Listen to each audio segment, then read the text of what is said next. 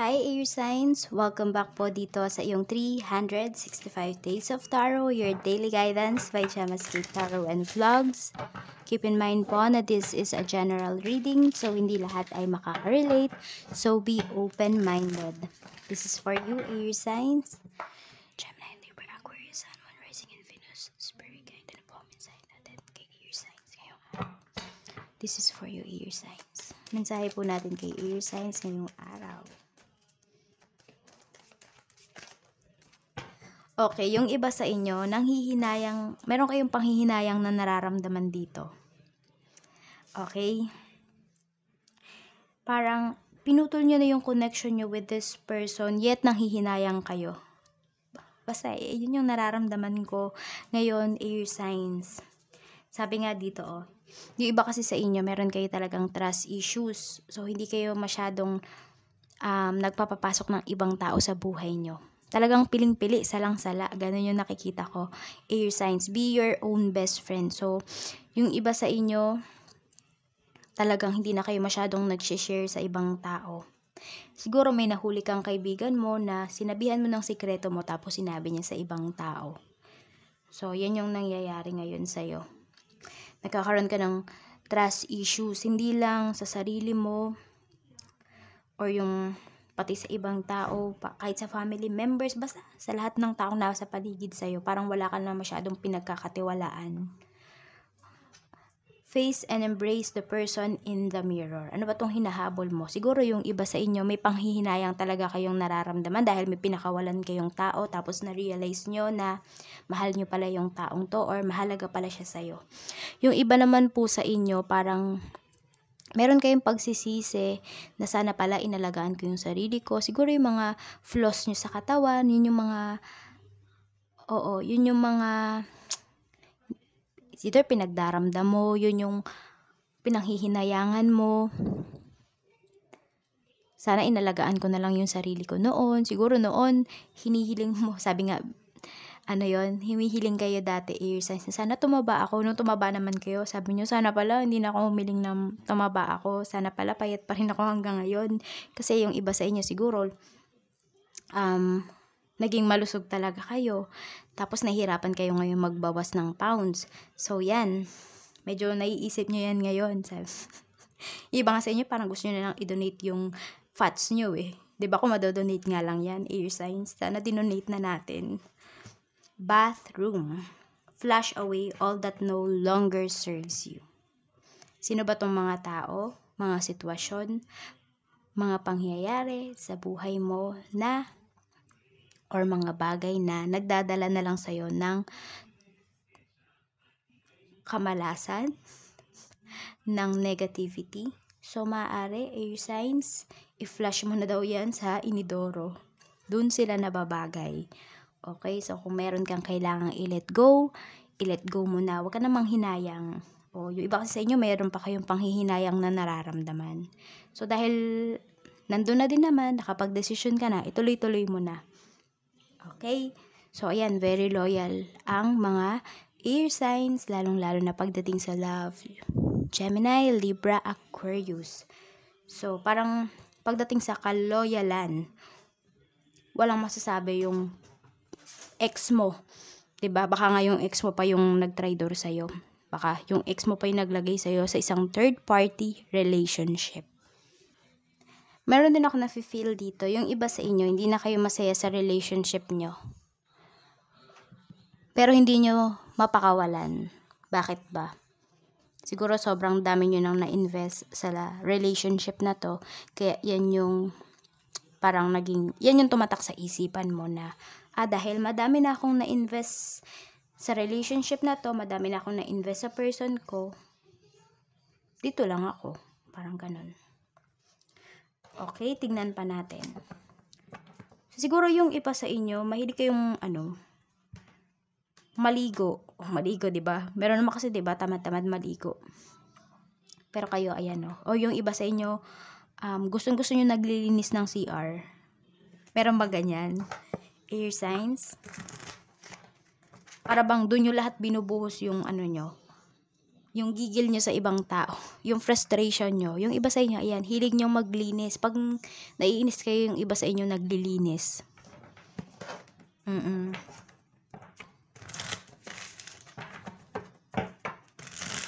Tingnan natin pagdating sa iyong finances.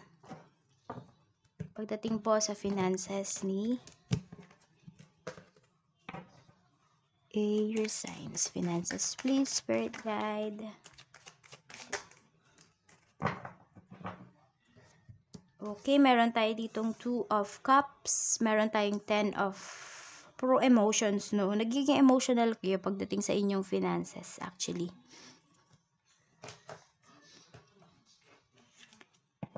Yung iba sa inyo, ang dami-dami nyong plano, air signs. Siguro nung January pa lang, napakadami nyo ng plano, mag-iipon ka, um, bibili ka ng mga ganitong bagay, pero yung iba sa inyo, halos hindi nyo nagawa. Kaya parang meron talaga kayong panghihinayang. Kung pwede nyo lang ibalik yung past, parang yung iba sa inyo, ganun yung sinasabi nyo. Gagawin nyo.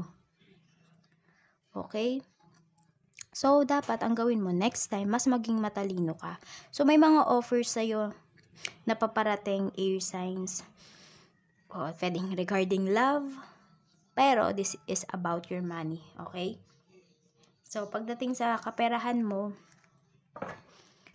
maganda naman eh. Kaya lang kasi, yung iba sa inyo, nahihirapan kayo magdesisyon pagdating sa pera nyo. Siguro, ano bang nauuna? Wants ba or yung needs nyo? Hindi ba? So, kailangan mong baguhin siguro yung lifestyle mo. Yung iba po sa inyo, oh, um, ang dami nyong responsibilities sa inyong family. Yung iba sa inyo parang sobrang pagod na kayo. Pero, wala. Kailangan nyong isuppress yung nararamdaman nyo kasi pag inuna nyo yan, tatama rin kang mag-work, wala kang mapapakain sa family mo. Okay, ano ba itong mga pinamimilian mo pagdating sa iyong finances? Ba? So, mas maganda po kung pupunta kayo ng supermarket, ng palengke, ilista nyo na yung mga bibilhin nyo. Kasi yung iba sa inyo, kapag may extra money kayo, air signs, sobra-sobra yung mga binibili mo. Hindi mo mapigilan yung sarili mo. Hindi ba?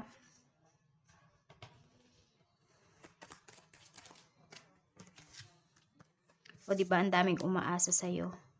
The devil, sobra ka nang nahihirapan, pero wala kang magawa. Yung iba sa inyo, stuck sa isang situation. Gustong gusto niyo nang umalis. Gustong gusto niyo nang bitawan yung mga responsibilities nyo, pero hindi niyo magawa. Nandun pa rin kasi yung awa na nararamdaman nyo dun sa mga tao na pag hindi mo na sinustentuhan, wala nang kakainin.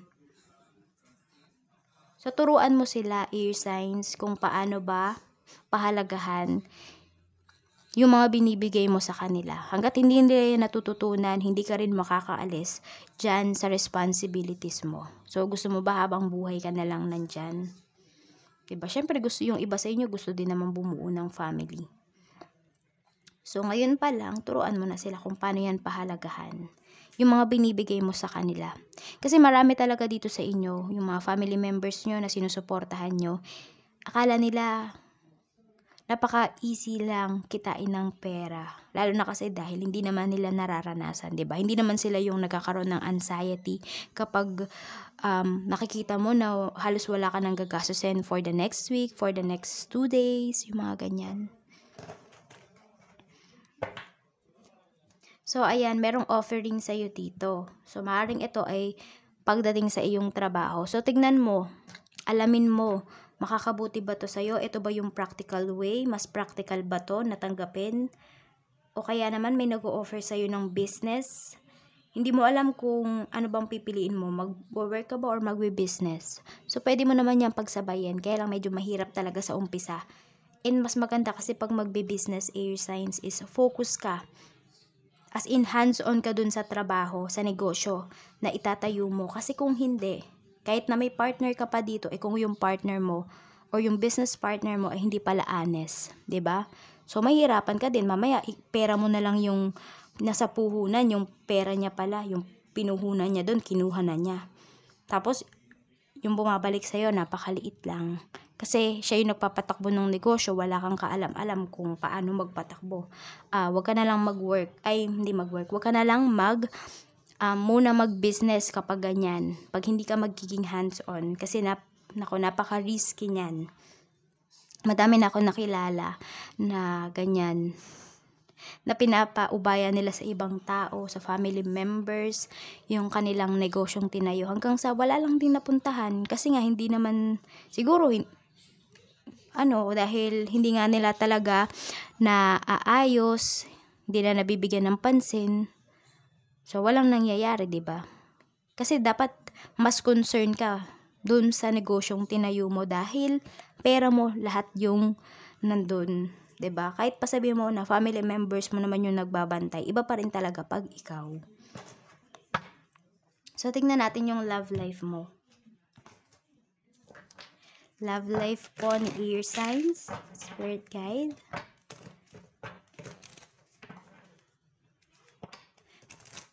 Pagdating sa trabaho, may nantetest talaga sa'yo. Yung iba sa inyo parang tinetest kung gaano kayo committed sa inyong trabaho. So, siguro kung may mga negativities na umiikot-ikot dyan sa iyong workplace, huwag mo na lang siguro masyadong pansinin and mag-focus ka talaga sa iyong trabaho. Okay?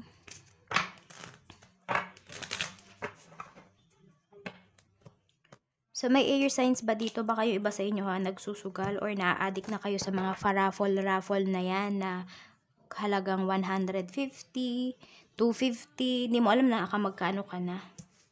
So, ayan, ingatan mo din ha.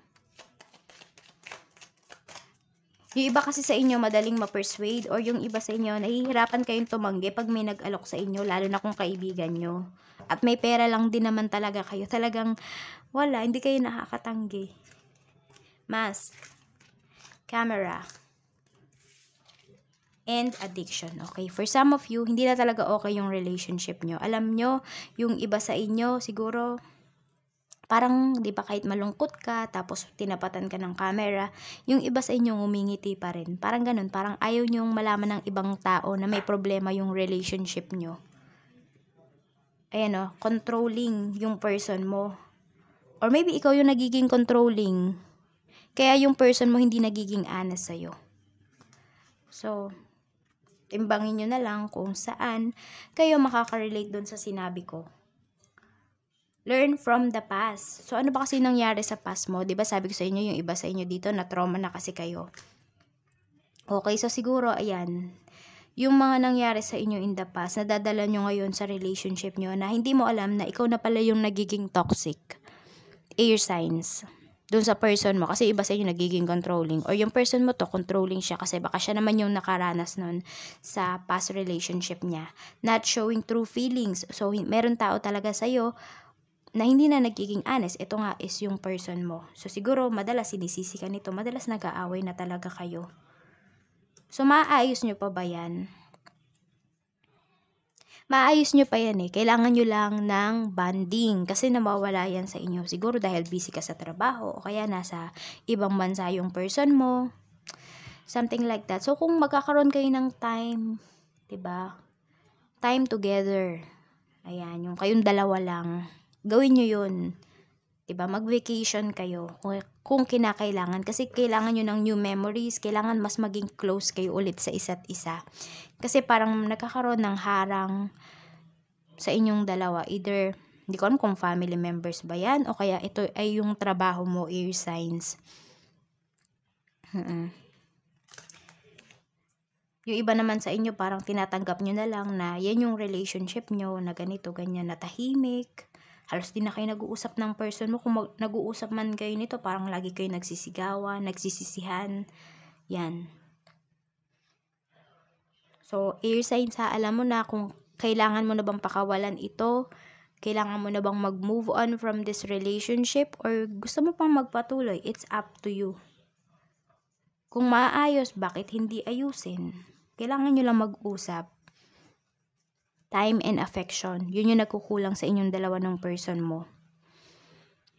Pati communication nyo, sobrang black na din. So, ayan po ang mensahe sa iyo ngayong araw, air signs. Maraming maraming salamat and see you again on my next video. Bye-bye!